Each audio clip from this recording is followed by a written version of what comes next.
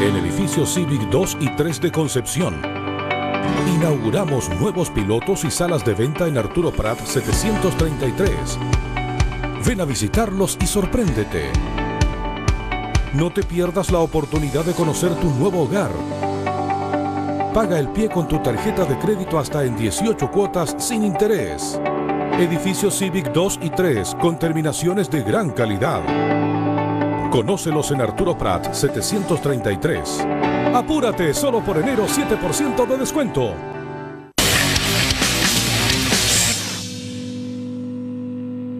Los clientes prepagos son clientes reales. Recarga tu prepago desde 3 mil pesos y te regalamos 2 gigas para redes sociales y mucho más. Y si aún no tienes un equipo 4G, te damos 500 megas. WOM, nadie te da más.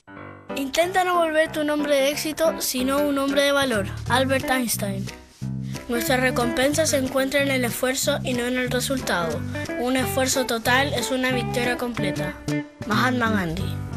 Estos pequeños gestos terminan convirtiéndose en grandes valores. Inicia la maravillosa aventura de aprender con nosotros. Proceso de admisión Colegios Concepción 2016. Institución líder en la formación de personas con visión de futuro. www.coemco.cl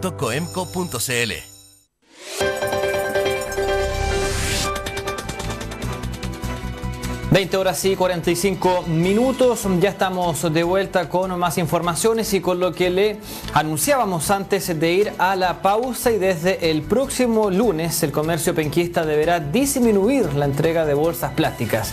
Si infringen la ordenanza municipal, las multas pueden superar los 200 mil pesos. Poco a poco las bolsas plásticas pierden terreno y en Concepción solo se podrán entregar un máximo de tres por venta. Esto comienza a regir el lunes. Los negocios, las grandes tiendas, las ferias libres, todos los comerciantes deben cumplir con la ordenanza del municipio penquista. La nueva normativa debe estar en un lugar visible de los locales para así informar a los clientes. Si no se cumple con la medida, se aplican multas que pueden superar los 200 mil pesos. Pero ¿quién fiscalizará el cumplimiento de la ordenanza? Tenemos eh, eh, funcionarios de, la inspección municipal que se dedican también, van a tener competencias carabineros eh, y también colegas de la Dirección de Medio Ambiente que van a estar fiscalizando el cumplimiento estricto de esta normativa. Creemos que la difusión